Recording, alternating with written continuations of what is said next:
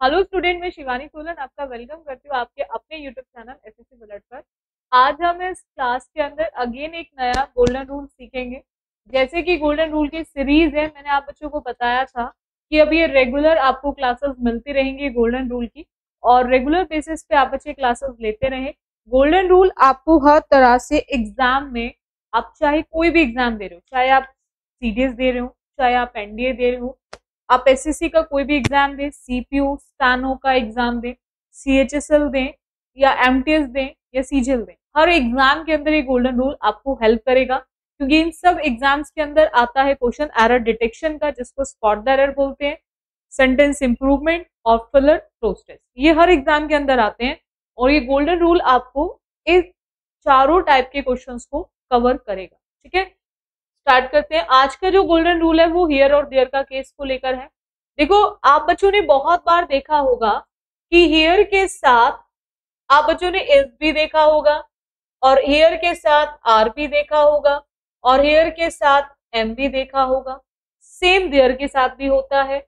आप बच्चों ने देयर के साथ वॉज़ भी देखा होगा और वर भी हैज़ भी देखा होगा और हैव भी।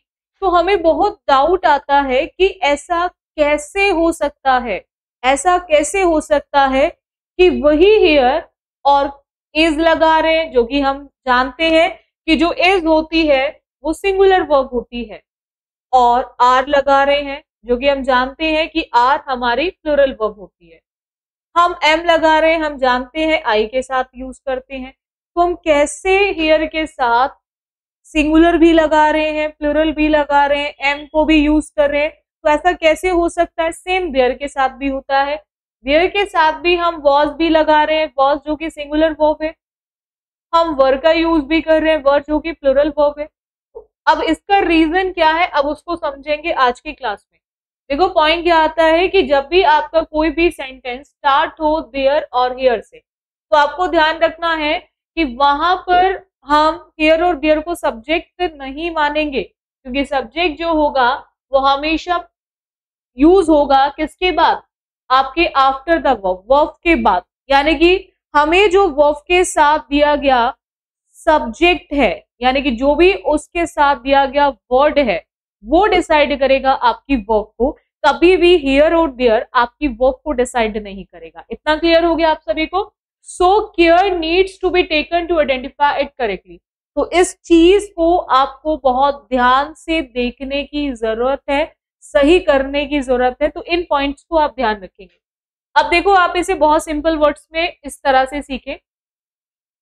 जब भी आपको बच्चों हेयर और देयर दिया हो, जब भी आपको हेयर और देयर दिया हो तो उस केस में आपको ध्यान रखना है, वहाँ पर आप दोनों तरह की वो यानी कि सिंगुलर और प्लूरल दोनों को यूज़ कर सकते तो यहाँ पर आप बस ध्यान रखेंगे कि अगर आपको नाउन एस सी एन दिया है पी सी एन दिया है, या फिर एस यू एन दिया है, यही आपकी वर्क को डिसाइड करे ये क्या है? S C N P C N S C N का मतलब है बच्चों singular countable noun singular countable noun PCN का मतलब है बच्चों plural countable noun plural countable noun PCN का मतलब है प्लूरल काउंटेबल और एसयूएन का मतलब है singular uncountable noun singular uncountable noun यानी कि ये आपके वर्क को डिसाइड करें। ये आपकी वर्क को डिसाइड करें। अगर आपको नाउ सिंगुलर काउंटेबल मिलता है तो आप वर्ब भी सिंगुलर यूज़ करें।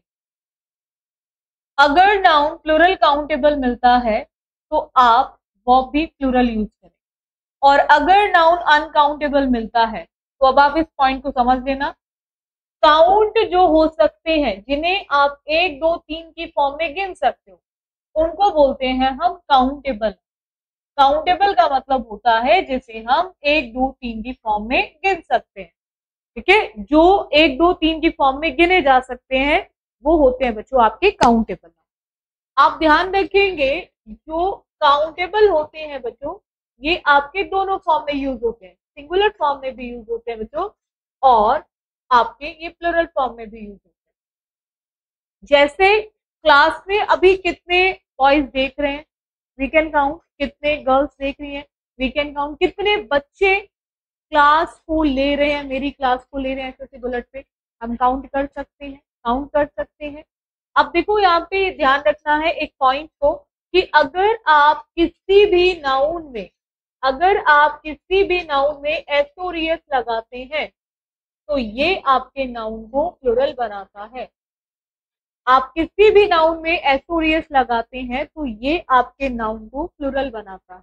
इतना पॉइंट क्लियर हो गया? और जो भी नाउन बच्चों आपका अनकाउंटेबल होता है, जो भी नाउन आपका अनकाउंटेबल होता है ठीक है? तो आप ध्यान रखेंगे, ये वो नाउन होते हैं, इन्हें अनकाउंटेबल इसलिए बोला जाता है बच्चों, क्योंकि ये कभी भी आपके एक, दो, तीन की फॉर्म में गिने नहीं जा सकते। इसीलिए हम इनको अनकाउंटेबल बोलते हैं। यानी कि ये काउंट नहीं हो सकते। इसीलिए हम इनको अनकाउंटेबल नाउन बोलते हैं। और जो चीज़ें गिनी नहीं जा सकती उनमें हम कभी भी एसोरियस का यूज़ नहीं कर सकते और एसोरियस का यूज़ हम इसमें नहीं कर सकते, इसीलिए इनकी कोई भी प्लूरल फॉर्म नहीं बनती। अनकाउंटेबल जो नाउन होता है, आप बच्चे ध्यान रखेंगे, ये हमेशा सिंगुलर इन फॉर्म होता है। अनकाउंटेबल जो नाउन होता है, ये हमेशा सिंगुलर इन फॉर्म होता है। इसकी कोई भी प्लूरल फॉर्म नहीं बनती है। इतना क्लियर हो गया? सो so, यहाँ पर यही पॉइंट है कि जैसे ही आप बच्चे देखेंगे सिंगुलर अनकाउंटेबल को तो आप वर्ब भी सिंगुलर ही यूज़ करेंगे। आप वर्ब भी सिंगुलर ही यूज़ करेंगे। अब यहाँ पर आप बच्चे एक पॉइंट को समझ लेना। ये एसवी का मतलब है सिंगुलर वर्ब से। एसवी का मतलब है सिंगुलर वर्ब से और पीवी का मतलब है प्लूरल वर्ब पीवी का मतलब है प्लूरल वर्ब से। और एसवी का मतलब है सिंगुलर वर्ब से। एसवी का मतलब है सिंगुलर वर्ब से। इतना क्लियर हो गया? तो यानी कि यहाँ पर आप बच्चे ध्यान रखेंगे, जैसा नाउन वैसी ही वर्ब ये सिंगुलर तो वर्ब भी सिंगुलर ये प्लूरल तो वर्ब भी प्लूरल और ये सिंगुलर तो वर्ब भी सिंगुलर जैसा ये नाउन होगा, जैसा ये नाउन होगा, वैसे ही आप इस वर्ब को यूज़ करेंगे, वैसे ही आप इस वर्ब को यूज़ करेंगे। बोलो, इतना क्लियर हो गया? जैसा नाउन वैसी वर्ब जैसा नाउन वैसी वर्ब बोलो, इतना क्लियर है सभी को? डाउट है यहाँ तक किसी को? समझ आ गया पॉइंट अच्छे से? ठीक है? तो हम हमेशा नाउन के अकॉर्डिंग वर्ब को डिसाइड करते हैं। हमेशा नाउन के अकॉर्डिंग वर्ब को डिसाइड करते हैं। तो यहाँ पर इसी से रिलेटेड देखो, एक एग्ज़ाम्पल देख लो। जैसे मैंने आपसे बोला कि देयर आर अब आर या इन्स जब मैं बोलूँगी मानी ट्रीज अगर मैं यहाँ पे बच्चों बात करती हूँ ट्री में एस लगा हुआ देखें तो यानी कि एस किसको बता रहा है? प्लूरल को। एस किसको बता रहा है? प्लूरल को। कितने पेड़ है हम गिन सकते हैं? तो it is a case of plural countable noun गिन सकते हैं ना? एक, दो, तीन की फॉर्म में गिन सकते हैं तो प्लूरल काउंटेबल नाउन हो गया। तो हम यहाँ पर एस का यूज़ करेंगे या फिर आर का यूज़ करेंगे? तो एस कैसी वर्ब है? सिंगुलर एस कैसी वर्ब है? सिंगुलर हमें नाउन कैसा दे रखा है? प्लूरल हमें नाउन कैसा दे रखा है? प्लूरल तो हम कभी भी इज़ का यूज़ नहीं करेंगे। हमें नाउन के अकॉर्डिंग प्लूरल वर्ब का यूज़ करना है। तो हम क्या लिखेंगे? आर हम इसका यूज़ नहीं करेंगे। अगर यहाँ पे दिया होता कि हेयर अब इज़ लिखेंगे या आर लिखेंगे, जब बात करेंगे योर ब्रेकफास्ट की, जब बात करेंगे योर ब्रेकफास्ट की इज़ या फिर आर तो अब आपको अगेन एक चीज़ ध्यान रखनी है कि मैं ब्रेकफास्ट की बात करूँ, क्या हम उसको गिन सकते हैं? नहीं। कैसा केस है? सिंगुलर कैसा केस है? सिंगुलर या टी लिखा होता या कॉफ़ी लिखा होता? तो कैसा केस होता है? अनकाउंटेबल ना, गिने नहीं जा सकते। तो जो चीज़ें गिने नहीं जा सकती, वो अनकाउंटेबल और अनकाउंटेबल हमेशा कैसे यूज़ होंगे? सिंगुलर इन फॉर्म कैसे यूज़ होंगे हमेशा बच्चों? सिंगुलर इन फॉर्म तो उसमें हम आर लिखेंगे या इज़ तो हम जानते हैं कि जो इज़ है, वो कैसी वर्ब है बच्चों? सिंगुलर और जो आर है, वो कैसी वर्ब है? प्लूरल तो वहाँ पर हमें सिंगुलर वर्ब लिखनी है। हम इज़ का यूज़ करेंगे आर का यूज़ नहीं करेंगे। बोलो, इतना क्लियर हो गया आप सभी को?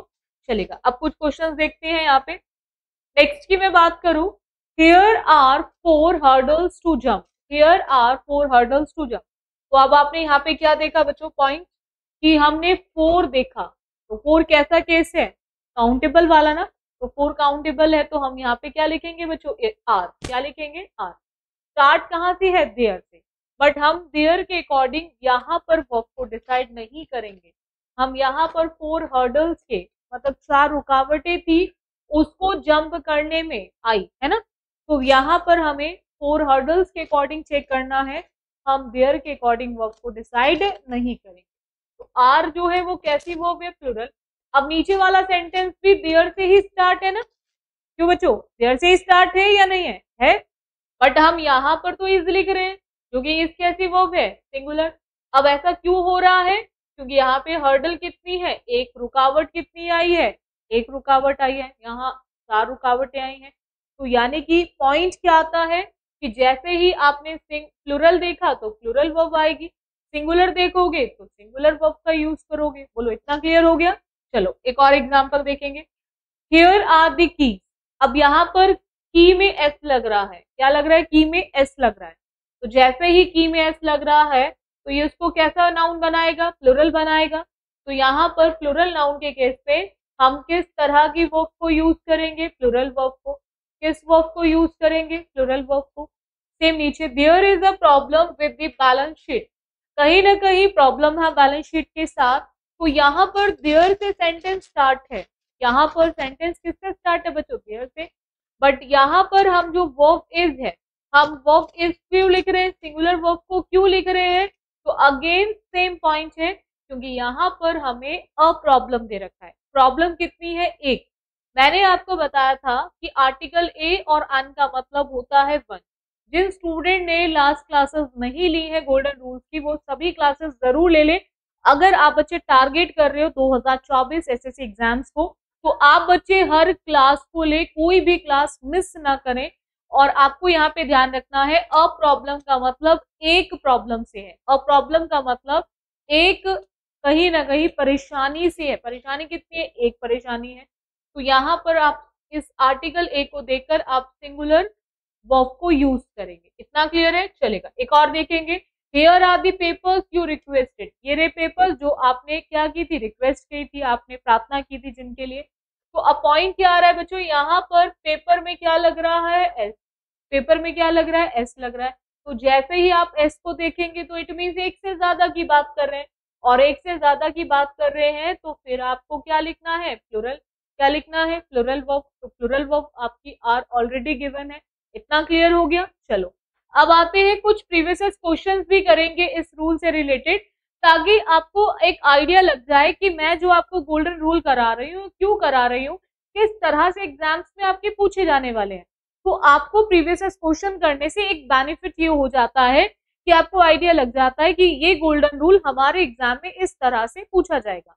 जैसे एग्ज़ाम का ही क्वेश्चन है 2022 का सीएचएसएल का there is many ways to make a stranger feel welcome in the community बहुत सारे तरीके होते हैं कि आपको अजीब सा महसूस हो, अजनबी सा महसूस हो कम्युनिटी में वेलकम करते हुए, है ना? तो आपको यहाँ पे ध्यान रखना है कि देयर इज़ मैनी वेज में कोई मिस्टेक है या नहीं। तो अगेन आप बच्चे ध्यान रखेंगे मैनी के साथ वेज दे रखा है।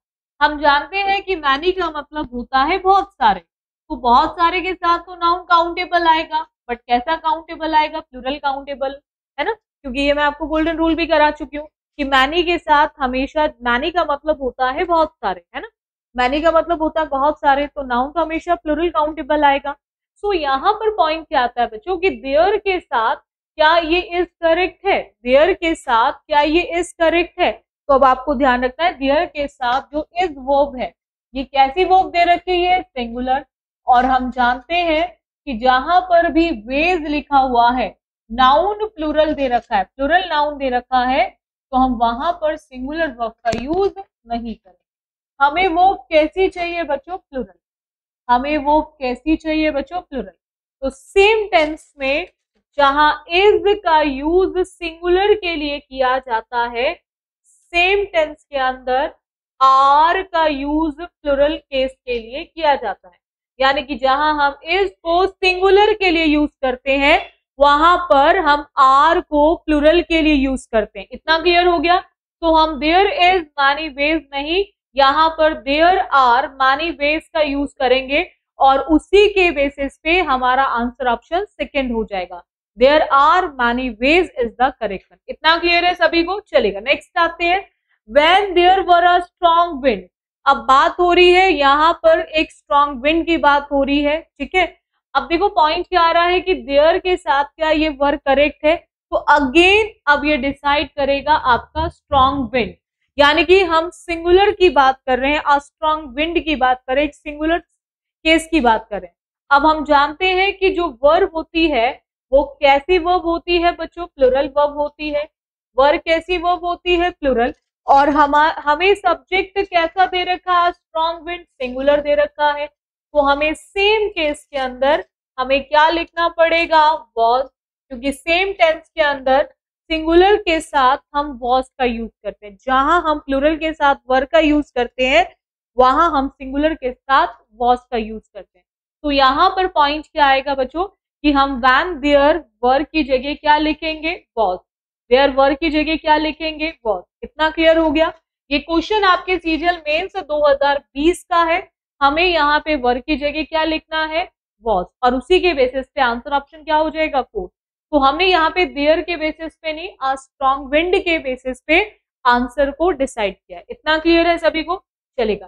देखो बच्चों, आपको रेगुलर क्लासेस लेते रहना है। अगर आप बच्चे टारगेट कर रहे हैं 2024 के एग्ज़ाम्स को तो आप बच्चे रेगुलर मेरे साथ एस एस बुलेट पे जुड़े रहे, क्योंकि मैं आपको डेली बेसिस पे गोल्डन रूल और एक अच्छे से नोट्स बनाए प्रॉपर तरीके से नोट्स बनाए, हर गोल्डन रूल को नोट्स में लिखते चले, क्योंकि ये वो गोल्डन रूल्स हैं जो आपके एग्ज़ाम्स में पूछे जाने वाले हैं। तो आपको हर एक नोट करना है, हर एक रूल को अपनी नोटबुक में नोट करते हुए चलना है प्रॉपर जिस तरह से मैं एग्जाम्पल्स प्लस प्रीवियस क्वेश्चन करा रही हूँ वो सब आपको उस नोट बुक के अंदर नोट करना है। बाकी बहुत सारे ऐसे बच्चे हैं जिनके मैसेजेस आते रहते हैं। बैच के लिए तो मैं आप बच्चों को बता दूँ, आपको बैच मिलेगा फाउंडेशन बैच लेकिन उसके लिए आपको प्ले स्टोर पे जाके एस एस बुलेट ऐप को डाउनलोड करना पड़ेगा। और जब आप उसको डाउनलोड करेंगे तो वहाँ पर आपको इंग्लिश फाउंडेशन कोर्स मिलेगा, जो थ्री इन वन है, जिसके अंदर आपको ग्रामर वोकेबलरी एंड रीडिंग तीनों चीज़ें आपको एक साथ मिलेंगी उस बैच के अंदर। ठीक है? और बाकी जो क्लासेस हैं, जैसे आपकी लाइव क्लासेस चलती हैं, सुबह दस बजे वो कैब का शो चलता है, जिसके अंदर आपको जो भी लेटेस्ट एग्ज़ाम्स हैं, उन सभी के वो कैब के वर्ड्स को कराया जाता है। इसके अलावा थ्री फिफ्टीन पर एक क्लास चलती है फॉर एम उसको ले। बाकी जिन स्टूडेंट का सीपीओ प्री क्वालिफाई हो चुका है मेंस की तैयारी कर रहे हैं, वो मेरे साथ जुड़े, क्योंकि मेंस के अंदर तो इंग्लिश ही है। सीपीओ मेंस की मैं बात करूँ तो वो सभी बच्चे मेरे साथ जुड़े सीपीओ मेंस के लिए एसएससी बुलेट पे। तो बहुत जल्द आपकी क्लासेस स्टार्ट हो जाएँगी एसएससी बुलेट पे। बाकी जो सीपीओ की तैयारी कर रहे हैं मेंस की, उनके लिए वो कैप का शो बहुत ज़रूरी है क्योंकि अभी जो क्लासेस चल रही हैं वो कैप की वो, उसके अंदर मैं सीपीओ 2023 जो अभी लेटेस्ट एग्ज़ाम के पेपर है, उन्हीं को ही डिस्कस कर रही हूँ। तो आप उन क्लासेस को ज़रूर लेते रहें। बाकी क्लासेस अच्छी लगती है तो आप बच्चे ज़रूर लाइक और शेयर कर दिया करो, ठीक है?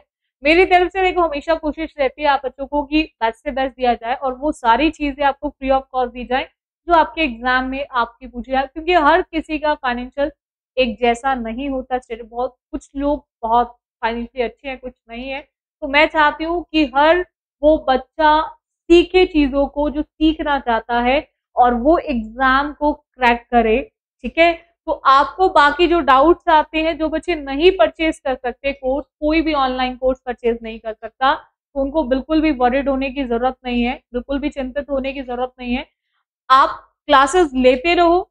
मैं आपको इस चीज़ की गारंटी देती हूँ, अगर मैंने गोल्डन रूल आपको 120 कराए हैं तो ये वो सारे रूल्स हैं जो आपके एग्ज़ाम्स में पूछे जाएँगे, ठीक है? तो आप ये मत सोचना कि आप नहीं खरीद पा रहे हो कोर्स किसी भी प्लेटफॉर्म का कोर्स नहीं खरीद पा रहे हो तो आपको ज़रूरत भी नहीं है।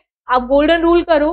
बाकी मैं आपको क्लोज टेस्ट करा ही रही हूँ। मेरी तरफ़ से पूरा एफर्ट मैं लगा रही हूँ कि आपको हर वो चीज़ मिल सके एसएससी बुलेट पे जो आपके एग्ज़ाम को क्रैक करा, कराए, ठीक है? और एक अच्छे स्कोर के साथ और आप भी रैंक ला सकते हैं। आप भी वही बच्चे हैं जो रैंक लेकर आते हैं। आप में से ही वो बच्चे निकल कर आते हैं। तो उसके लिए आपको रेगुलर क्लासेस लेनी है। क्लोज टेस्ट आपको रेगुलर मिलता रहेगा। दो चीज़ें हमें सबसे ज़्यादा परेशान करती है, एक वो कैब और एक क्लोज टेस्ट उन दोनों का सॉल्यूशन मैंने आपको दे दिया सुबह दस बजे वो कैब वाली class close test recorded class मैं इसलिए दे रही हूँ क्योंकि उसमें आपको सीखना है। मैं लाइव क्लास क्लोज टेस्ट की तब लूँगी जब आप अच्छे से सीख लोगे, फिर लाइव में स्टार्ट कर देंगे उसके लिए, ठीक है? बाकी क्लासेस अच्छी लगती है तो लाइक और शेयर कर दो, इतना तो आप कर ही सकते हो मेरे लिए, क्योंकि मैं आपके लिए अगर ये सब चीज़ें कर रही हूँ तो आप मेरे लिए लाइक और शेयर ज़रूर करें। बाकी जिन स्टूडेंट्स ने अभी तक चैनल को सब्सक्राइब नहीं किया है तो आप बच्चे ज़रूर सब्सक्राइब कर ले ताकि आपको हर क्लास का नोटिफिकेशन मिल सके और कोई भी क्लास आपकी मिस ना हो, ठीक है? तो थैंक यू अगेन बच्चों thank you for the session बाकी करते हैं हम नेक्स्ट क्लास